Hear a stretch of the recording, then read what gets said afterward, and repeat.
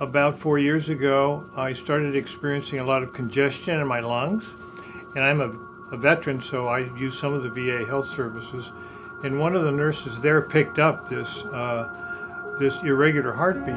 I didn't actually realize that I was pretty sick, and my heart was operating at less than 30% efficiency.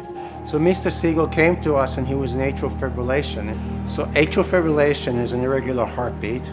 In atrial fibrillation, the top chambers, the atrium, start beating very chaotically and erratically.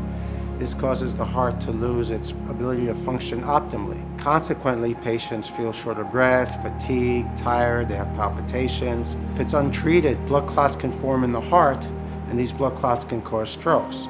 Up to 25% of all strokes in this country are caused by atrial fibrillation. But however, in terms of preventing atrial fibrillation and stopping it from recurring, there are medications we can use which are called rhythm control drugs but they don't work. They don't even work 50% of the time.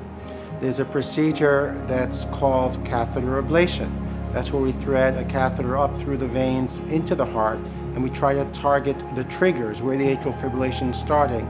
The University of Miami U Health System was part of Cabana, which was a multi-center landmark study comparing catheter ablation with medications in patients with atrial fibrillation. This was the largest atrial fibrillation study in quite some time, and they picked the best centers around the world, and we were fortunate to be included in that group. In this study, 2,200 patients were randomized to either receive catheter ablation or medication. My participation would be a contribution to uh, this whole question of what is the best way to address the type of condition that I had. In the Cabana study, it showed that in terms of reduction of atrial fibrillation and prevention of atrial fibrillation, that uh, ablation definitely outperformed medication. It was at least 40% better in terms of prevention of atrial fibrillation.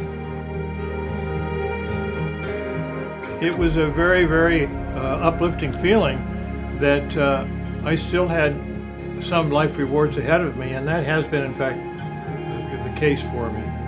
With the results of the Cabana study, we can look at patients more carefully and we can discuss the pros and cons of undergoing a catheter ablation